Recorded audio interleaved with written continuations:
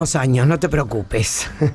Ahora sí, vamos para allá. Presenta ratingcero.com, el sitio donde encontrás la mejor información del espectáculo. ratingcero.com. Y chumeando en rating cero, Ulises Bueno, que se está despidiendo de los escenarios. Qué lástima, chicos. ¿Por Ulises qué? tan querido, porque sí, él llegó a un punto de quiebre, que quiere disfrutar más de la familia, lo bien que hace, hace más de 20 años se dedica a la música y también cuando uno pasa por esos momentos de artista, hay que cuidar a los artistas, siempre lo decimos. Yo a veces cuando dicen lo va a ir a ver este su mamá, digo, cuánta tragedia en el medio, ¿no? Con Rodrigo y ahora Uli dice que, bueno, eh, ha estado en un momento así muy difícil, con una neumonía terrible que lo tenía ahí en la cama sin poder levantar. Ha- había móviles en vivo que no, no sabía qué es lo que iba a pasar. Bueno, se despidió de los fanáticos, feliz, último show total, pero se vivió una situación tensa. Porque de repente en medio del recital dice, loco, estoy despidiéndome. Se la agarró con la producción. Ay, Dios. ¿Quién será la producción? Yo no arruino un show, por más que te tenga que decir de todo, Ronnie, menos el último. Después. Que no será el último del último, porque el último es un impas, vamos a decir así, un impas. Pasan cosas insólitas acá arriba del escenario. Dice, ¿a quién carajo le molesto? ¿A quién carajo le molesto?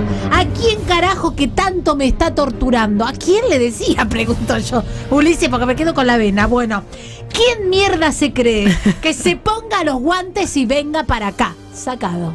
Ah, pero. Eso en el me- a mí me pasó En una el vez. escenario. ve- vi dos personas acá en el escenario. El Puma Goiti con un teléfono que no paraba de sonar en una obra de teatro. y una, una actriz y cantante norteamericana que se llama Patti Lupone que suspendió la función porque había una señora que la estaba grabando por el teléfono. Y no se podía. O sea, Claro. sí, estoy hablando de gente que está abajo del escenario. El problema ahí era que estaba su propia gente. Su propia gente, su propia producción. ¿Y a quién carajo le molestó? Por favor, estaba sacado. Dice, no sé qué más quieren de mi vida. ¿Viste cuando hablamos de los artistas? ¿Hasta cuándo? Cuando el artista te pide no seguir porque está en un momento de situación de quiebre, de, ¿viste? Cuando Sí, bueno, pero si está, una vez que está arriba del escenario es que él aceptó hacer eso. Totalmente, totalmente. Eh, pero digo, ¿quién? A veces también uno sabe la presión que le meten al artista porque había fechas previstas y él en el medio decide no continuar este año. La gente Bueno, pero dice, es por una cuestión de enfermedad tampoco. Total, de enfermedad y de cuidados de él. Dice que quiere disfrutar de la vida, ser un pibe común, disfrutar de la hija, que es recontra entendible. Yo digo, y tengo amigos de sobra en, en el ambiente más del cuarteto, cuando uno lleva una vida ordenada se puede, Ronnie, conjugar la familia y también el escenario.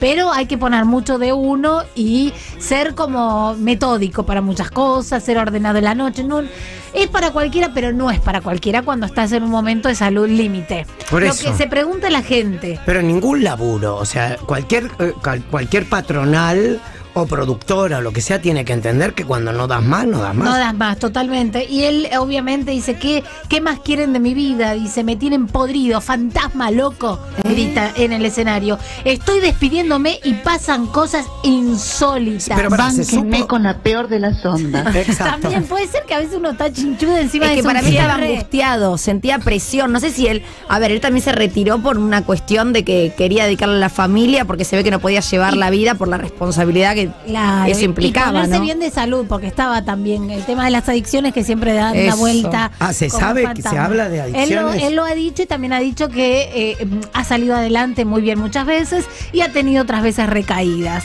Y en el medio de todo eso uno pone un montón de cosas, pero eh, se perdió mucho de la familia y de su hija. Lo que no termino de entender es qué le ¿Qué estaría le haciendo a la producción. pasando? ¿Qué le ¿Y estaría quién es el pasando? fantasma Tal que dice cual. plantate acá? La producción.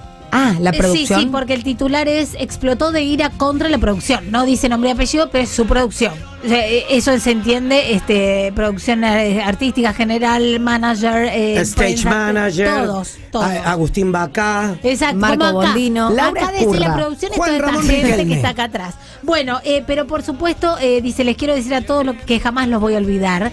Me Ah. llevo un hermoso recuerdo hasta el día de mi muerte. Sea el momento que sea. Ah. Me, me Ah. llevo un hermoso recuerdo, pero váyanse todos a la Claro, fiesta. pero están en los titulares, ¿por qué no? Pero bueno, la, la- familia ulicera, como se dice en el ambiente, lo banca a, lo que él decida y que decía cuando quiera volver y cuando esté bien. Ay, es re triste. Yo he cantado tantas canciones de Ulises en un canto bar, en ¿En un canto serio? bar, te juro, allá por Olivos. Pero y ahora digo, ¿qué voy a cantar? A ver, ¿cómo sería? Canta. usted- Dale. Me nació na, na, na, na, decirte que no, na, na, na, na, na. Bueno, No, soy media tananá, perro. También, Soy digo media yo. perro, No, pero sabe el escúchame, estribillo, con mis Sofi, amigas, espera. con la letra que te la ponen en el cantabar, Ahí en va, el ahí va, cantobar. Sofi. Parece Cabi. barra brava, ¿no? ¡Ay, me encanta! Te vemos lanzada. ¿Tú te subiste? Ahí estamos.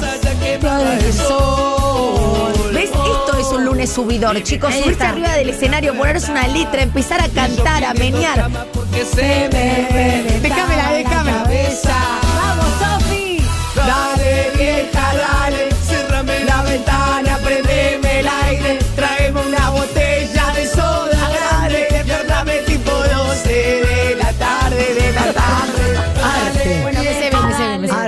lo que hablaba recién Sergio Marchi. Menos mal no estaba Sergio, nos Poemas. ma- Nos mata, nos mata Sergio. Pero bueno, familia Licera, sigan escuchando las canciones, porque los artistas siempre siguen adelante por sus canciones. Cambiamos rotunda- Me hizo bien. Cambiamos rotundamente de tema, chicos. ¿Por qué? Un nuevo escándalo, Wanda Gate, One Gate y Cardi Gate, como quieran decir. Para mí es más Icardi Gate. Y Cardi Gate vuelve a la escena porque se descubrieron nuevas infidelidades. Pero Un- son, ¿están probadas o es como la China, que no, No. se probó nada? No, acá hay chats con la fotito de los dos que se lo ve que te escribe él. Un hola, fotito con fueguito, tipo, qué buena estás. eh, la chica en. Se llama la chica Candela Leche.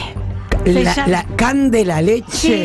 Qué la supuesta amante, nueva amante de Mauro No, Icardi. pero vos dijiste que estaba comprobado. Supuesta no tiene mucho. Sí, no, no, no. Acá, eh, hay titulares que dicen supuesta, pero Ronnie eh, F5 aparecieron chat ya. Que la chica, y aparecieron audios Dios. de ellos, porque la chica, por ejemplo, hoy muy astuta, dijo, por ejemplo, él usa una cadena con los hijitos que nunca se la ponen, pero yo en privado se la vi.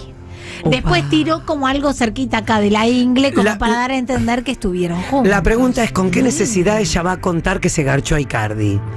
Eh, Fama. Bueno, porque no sé si fama, pero le molestó que la niegue un poco, que se haga el dolobu, ¿viste? Porque parece Pero que. ¿cómo llegan esos chats ella- a los medios? No, bueno, nunca se sabe cómo llegan los chats. Siempre hay una mano negra. Para mí lo mandó ella. Por LAM, Candela, no te seguro pongas alguna mal. panelita. Seguramente. El tema es así. eh, él le habría dicho que estaba separado en su momento. Sí. Y ella se desayuna con Wanda en Masterchef. Y dice, este tipo me hizo el cuentito a mí. Bueno, pero él estuvo separado en un momento. Y- Si Wanda andaba con elegante. No, no que andaba, que- son amiguitos. Bah, amiguitos, amiguitos. Con derecho a roce, no, no sé, viste, yo llamo un quilombo entre microinfidelidad, la infidelidad genital, es, es microinfidelidad, es macroinfidelidad, no sé, Por Ronnie, eso, para dónde si, vamos. si hay genitalia ya es... Eh, infidelidad con todas las letras. Dice, eh, la señorita Leche dijo, cuando vi todo esto que fue a grabar el programa Masterchef, yo dije, soy una pelotuda. Me hizo el cuentito. Yo me quedé en el hotel, que él iba, volvía, que pasamos la noche ahí No y lo puedo bueno, creer. no lo vi más. Ella dio detalles que se encuentran en Puerto Madero, eh, divino, y que él le pide ¿En dónde se encontraban? eh, no, di- no dio detalles. En un, ¿En en un Chucky? hotel. Hoy, hoy la vi a Brel, que es amiga, la vi analizando, porque Brel tiene un departamento también en, en Puerto Madero con su marido Pablo. Y de ahí dice que no se puede ver la- las fotos que esta chica está pasando, que tiene que ser un, un departamento privado. Me ¿viste? encantaría ver cómo es la chica can de la leche. Es muy linda. Ahora te voy a mostrar fotos. Es muy linda, pero yo digo, eh, ¿Wanda aguantará un nuevo embate? Yo creo que Wanda aguanta. Todo, todo, todo. ¿Todo Tiene- por amor? ah, Wanda tiene aguante. Pero mientras ella tenga un beneficio. ¿Cuál es? Sin dudas. Y estar con otros por ahí o poder cachondear al igual que Icardi. No, para mí es más la prensa. Los negocios y la prensa, que Deben le hace al- bien a los dos. Sí, para mí se ríen de nosotros. Alguna tramoya deben tener entre Yo, ellos. yo para mí tuvieron algo, pero en el momento que estaba separada, porque Mauro ama a Wanda. Mm, Para mí no está en discusión. Pero como una madre. ¿Eh? Para mí, ¿La ama como una madre? para mí, claro, siento que no es amor. No sé, no los veo parejos. Siento como que Wanda es más madraza y él más como el, el- el gobernado. A mí igual me pregunto, él, en el momento del, del final del amor, ¿le diría cande o le diría la leche? Si a mí la leche me encanta. I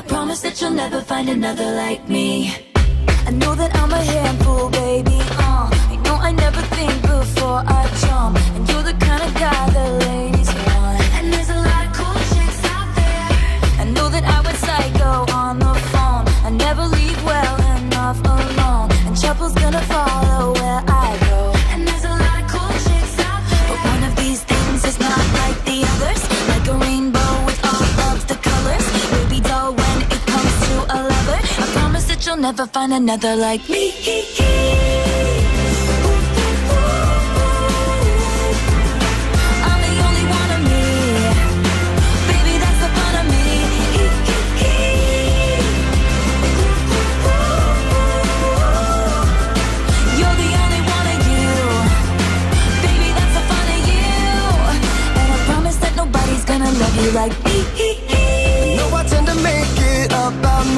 I know you never get just what you see, but I will never fall you, baby.